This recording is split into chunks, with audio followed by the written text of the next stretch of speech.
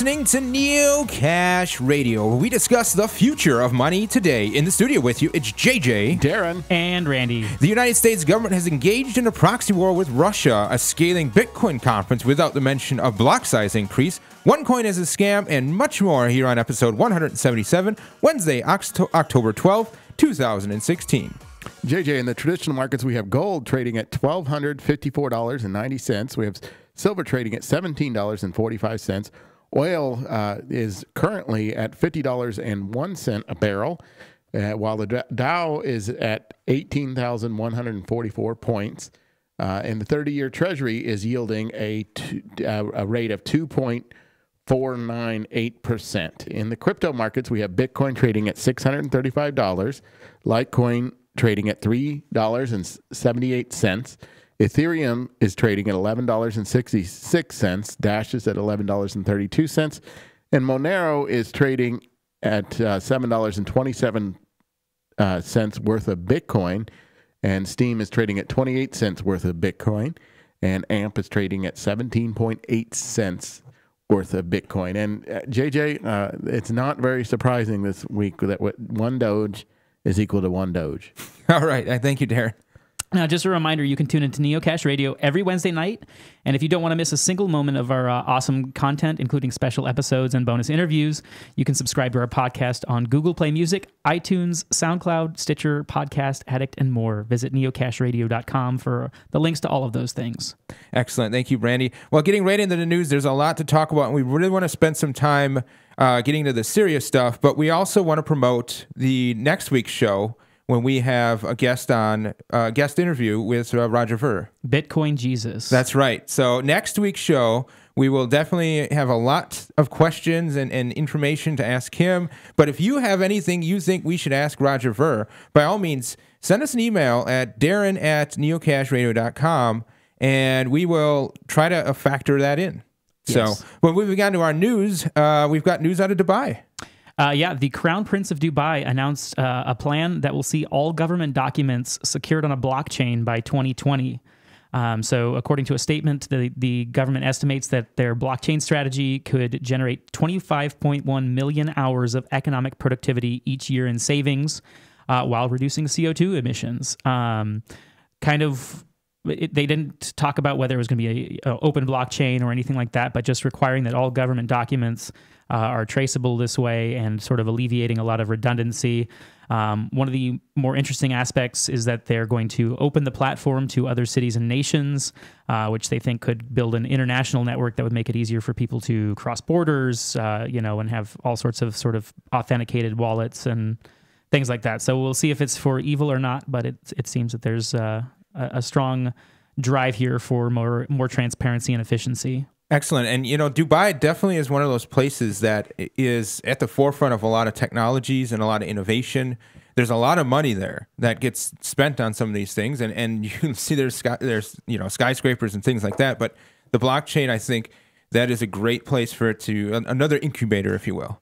Uh, moving on, we're talking about the United Nations and blockchain. So, the United Nations has an alternative financing laboratory they launched last year. Among other things, the lab is looking at microfinance, remittances, and more. Of interest to us is the use of blockchain to exchange funds.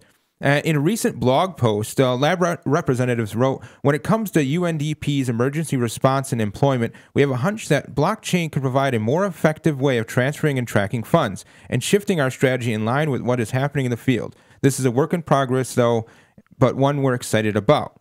Now, add into that that the United Nations Child Fund is looking for someone to head up a uh, their blockchain project. Some they they're looking for a blockchain solution to funding, and they need someone to head that up as of August. So I don't know if they found that person yet, but um, so that's the United Nations. Yeah, and I think it's important to talk about remittance markets. I mean, certainly we're seeing uh, more press about like the the failures of the American Red Cross uh, to their relief efforts in Haiti. There's an article that came out uh, saying that they'd spent a half a billion dollars on building something like six homes from the last uh, disaster. So the ability to transfer humanitarian aid where it's most needed quickly, efficiently, and inexpensively uh, is very important. And remittance payments Um, when JJ and I put together our, our decrypting Bitcoin video earlier in the year, we talked about remittance payments being, a, I believe, a $480 billion industry.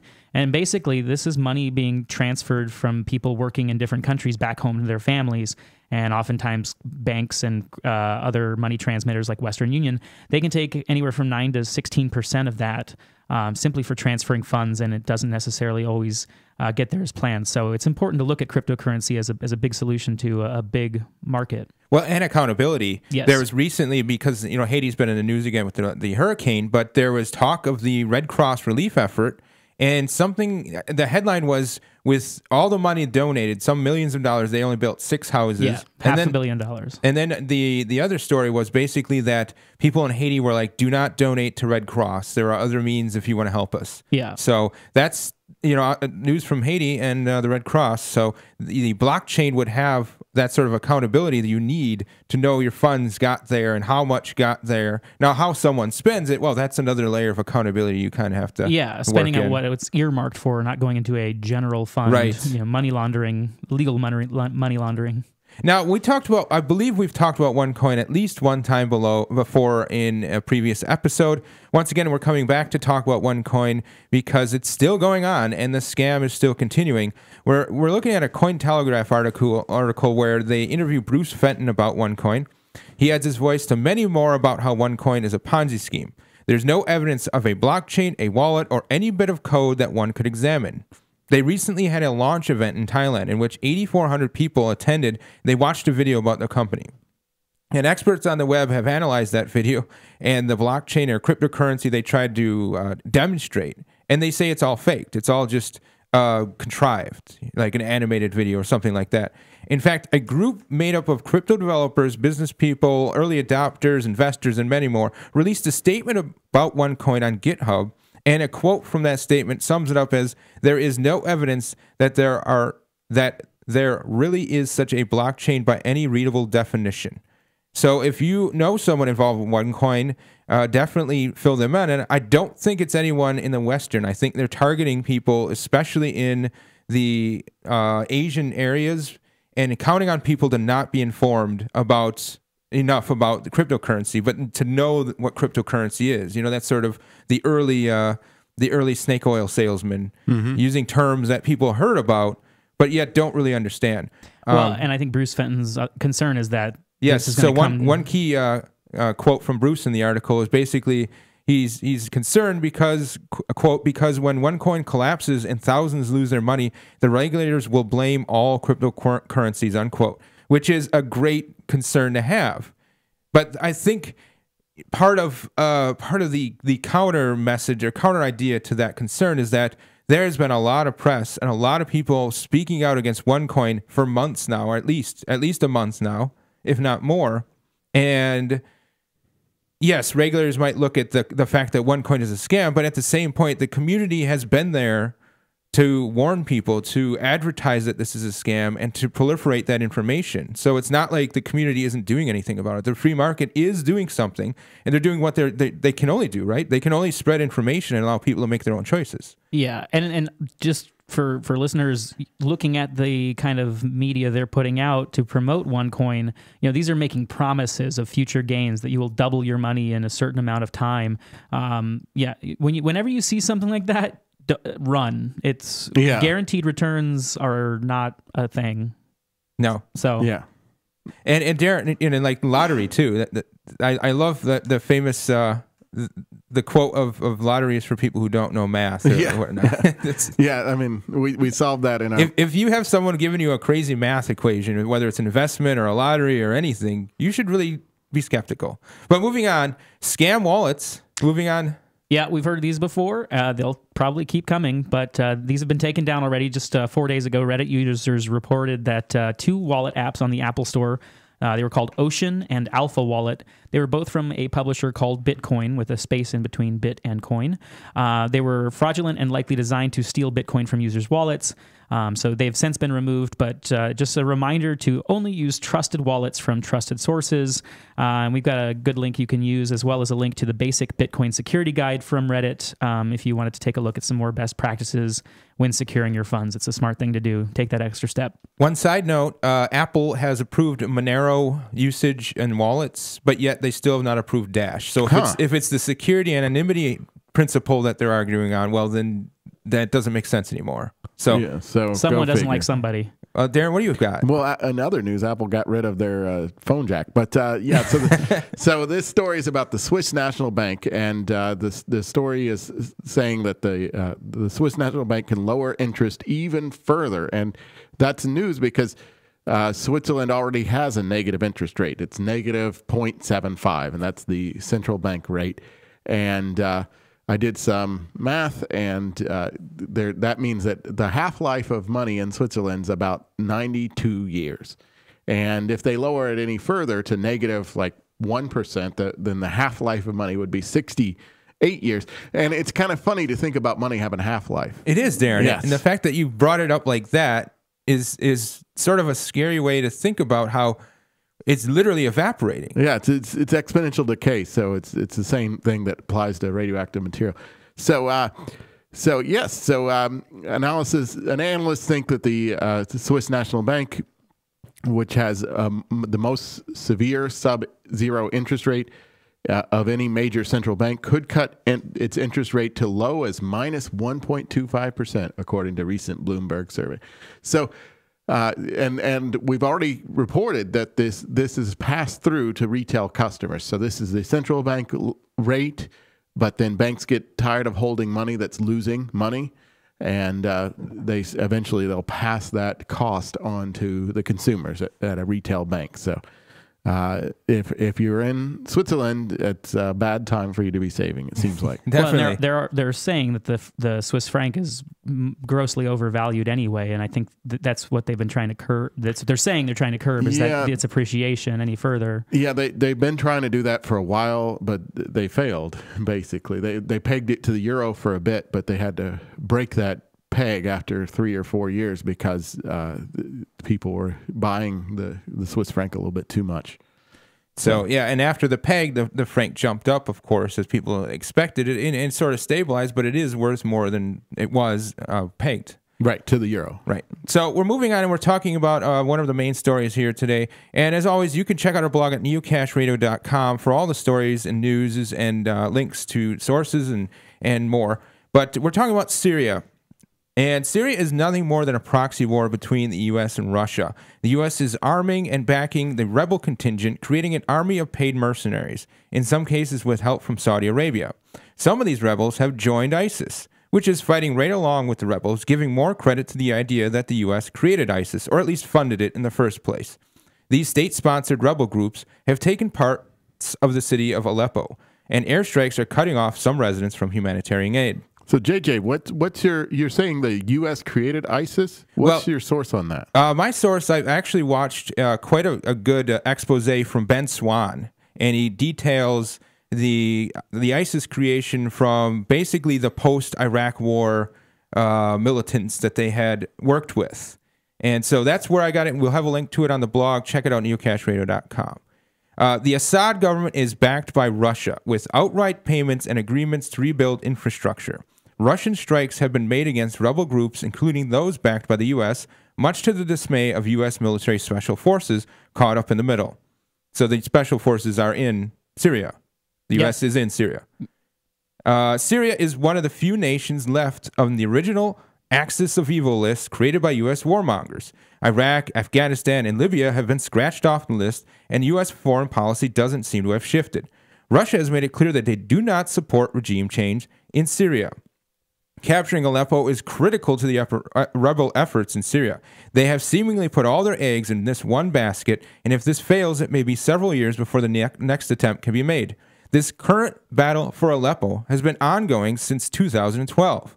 Without Russian support, U.S. backed forces may have already taken the entire city, but it appears that Assad may have come out on top, as Russian air power has devastated rebel held parts of the city. If this wasn't bad enough, Russia has moved more anti aircraft batteries into the Assad controlled Syrian region of Latakia. As we bring the scope back to look at the region and the world, with half of the city of Aleppo homeless, NATO commanders are claiming that Assad and Russia are weaponizing migration to destabilize other countries. The U.S. is upset with Russia meddling and has cut ties with Russia over Syria, and has named Russia as the culprit behind the DNC hack that exposed heir apparent Hillary Clinton. The Obama administration pointed the finger at Russia's senior most officials and vowed to avenge the attack in a proportional response as if cyber war can be met out in milligrams. The barbs go back and forth, with Russian President Vladimir Putin accusing the United States of escalating problems in the Middle East. Nuclear war hype has hit the airwaves as American media seeks to make the case for more violence. Russia has suspended a nuclear research agreement with the U.S. and terminated another regarding research reactors. As if to ratchet up the posturing, both the U.S. and Russia have run nuclear weapon test drills. 40 million Russians took part in various civil defense drills earlier in October. Tensions between the US and Russia are worse than during the Cold War due to a lack of clear boundaries and limits. Be sure to check our blog for links to the sources we used in this report. We'll keep you posted with the news that matters. Keep your, keep your eye on the blog at neocashradio.com and retweet all the things. Excellent. 40, so, 40 million. 40 million Russians. That's right. So 40 so, million Russians did a bunch of civil defense drills. Now, this wasn't just going in bomb shelters, but there's a bunch of different drills. And, and to say 40 million, imagine that some of the drills were bring your kids and, you know, you know what I'm saying? It's not necessarily 40 million soldiers training in, in boot camp. Sure. I, I think that actually, I actually do think that nuclear weapons are the greatest threat to humans. I believe so, right yes. now. I mean, it's not an, an asteroid hitting the Earth that could happen, but the, the chances are low. I think the greatest threat to humans are humans. Yeah. And j- just for uh, for for scale, New York City has 8.4 million people living in it. So just an idea of what 40 million people might feel like. Yes. No, it's definitely a countrywide wide thing. And, uh, and keep in mind that Aleppo is roughly the half the size of New York City. At least it was before this all started. Now you have half the population, two million people, homeless. Now that's that's a significant portion of the population. That whole region is is completely chaotic and destabilized. So, and they wonder how people in the Middle East get radicalized. Yeah, well, give yeah, take their home away and then drive them out with you know chlorine attacks going on. Things like that are still happening too. Yeah. And, so, and I'm, I'm seeing more reports that this is absolutely just a proxy war full of mercenaries that have been sent and are just basically fighting for the highest payer. They have very little allegiance. That's just that's where they found they can make money and provide for their families. It's it's a hotspot, and as I mentioned, it's been going on since 2012. This isn't new. Nothing here that's been going on here is new. It's always been a proxy war where the United States is trying to overthrow Assad, which is something they've been doing for a long, long time. They've always disliked this guy for whatever reason. He doesn't go along with their game plan. He doesn't play the way that they want him to play. I'm, I'm imagining, so they want to replace him with someone who will. I mean, that's kind of how the other regions, uh, the other countries in the region have gone. But moving on, we've got a lot more things to talk about here, and the Scaling Bitcoin Conference is the next item. Um, yeah, so the Scaling Bitcoin Conference took place in Milan this weekend. Uh, it's a conference for the Bitcoin development community to talk about uh, how they're going to safely scale and decentralize the Bitcoin protocol. That's what was uh, sold, but uh, there was some criticism that uh, the conference didn't actually focus on increasing block size or doing any other on chain improvements, but instead focusing on scaling sky, uh, side chains and drive chains and other kind of sort of second which, layer overlays. Which, uh, talking about OneCoin, I don't believe side chains exist. That come to think about it, I don't think there's any working implementation of a side chain. Okay. Only so, on the test net. Yes. We, we talked oh, about the Lightning Network on the test net. Working. Okay. So yeah. They they are working on it, but I don't think they're there yet. I think so, there's still okay. more development. So it's not as vaporware as the other stuff. Yeah, no. So in fact, they, they talked quite a bit about the Lightning Network and uh, sort of it the it still has problems in routing uh, the payment layer. Um, and until seg- until segregated witness comes out, which is now on the test net, and they uh, according to Blockstream, uh, it's close to being um, out on uh, deployment on the main net. So um, but some of the things they're looking at, Bitfury has a protocol called Flare, and there's also something uh, onion routing, which would basically do the privacy preserving of the Lightning Network, um, but they would decentralize micropayments and go through a set of different onion routers, so it uh, you know sort of masks the transaction a little more. Um, one of the other very interesting propositions they were talking about was Mimblewimble, which was this protocol proposition that was dropped in the Bitcoin forums a few months ago by an anonymous user that you know has since vanished. But uh, a mathematician at Blockstream, uh, Andrew Poelstra took a look at it. It's a proposed side side chain uh, that effectively merges all transactions in a single block and hides the amounts. Um, only the recipient and the sender see the actual amount. So this increases privacy and fungibility. And it also uh, another one of the big points of Mimblewimble is that it decreases the amount of data that Bitcoin nodes have to store because it actually cancels out matching inputs and outputs over time. So it's, I guess, uh, they can have years worth of, of uh, transaction data in less than a megabyte. So it's it's well, pretty interesting to watch. I, I, I wonder how they get the UTXO out of that. You know what I'm saying? Without the input outputs, you know how does the you know? I, am sure they have a solution. Yep. I'm sure that they wouldn't come up with this without a, a creating UTXO solution, so that the the nodes can verify but um, it's it's great to see these these new things. I, am glad that there isn't just the Lightning Network and that's all they're talking about. You know, it's it, the whole point of this crypto. I think is to explore a lot of different solutions, and a lot. Obviously, we've seen it with altcoins, and um, uh, Roger Ver will have uh, an interview with Roger Ver once again next week. Be sure to tune in for that. But uh, his, you know, his uh, he's sort of sponsoring and throwing his support behind Bitcoin Unlimited, and uh, you know that's increasing the block size. Increasing the block size. That's basically the opposite of what these people are talking about. These people are talking about how do we not increase the block size and yet come up with a solution.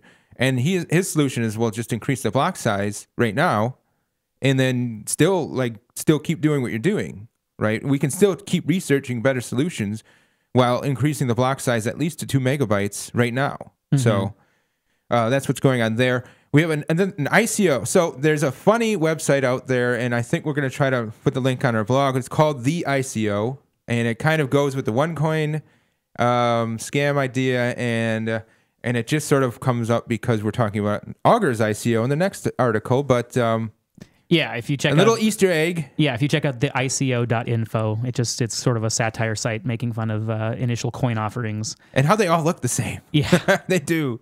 Uh, well, so prediction market Augur, uh, which is running on an Ethereum based blockchain, um, they hosted an ICO and raised over $5.3 million for their uh, reputation tokens, uh, the REP. So the rep tokens are also now available on exchanges like Poloniex, Bittrex, Kraken, and Shapeshift, uh, though their value has fallen. So when the ICO started on October 4th, they were starting at $13 per token, and uh, they're now down to a low of $5.51 earlier today. So what these do, uh, Augur is basically a prediction market where people can um, create bets on something that's going to happen in the future.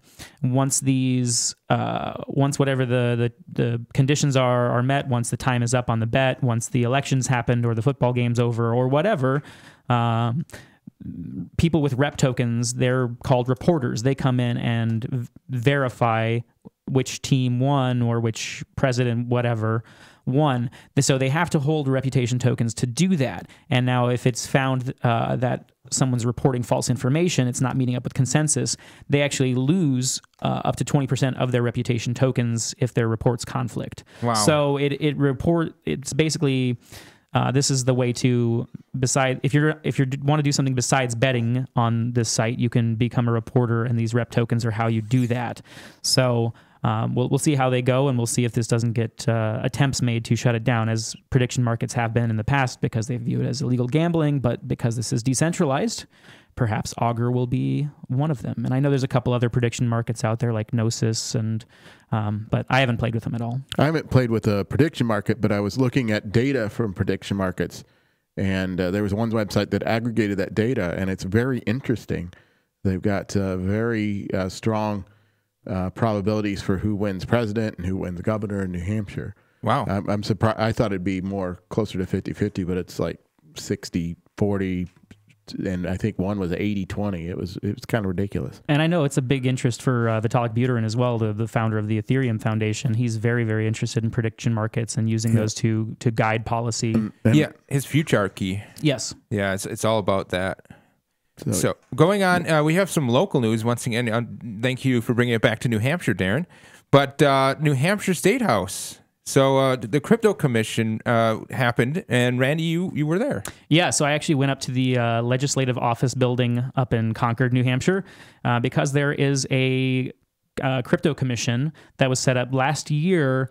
Um, there was a little bit of of uh, regulation that was put in place. One little bit that uh, authorized the banking department to license businesses uh, who transmit convertible virtual currency, they could uh, license and regulate them as money transmitters, similar to Western Union or uh, or something like that.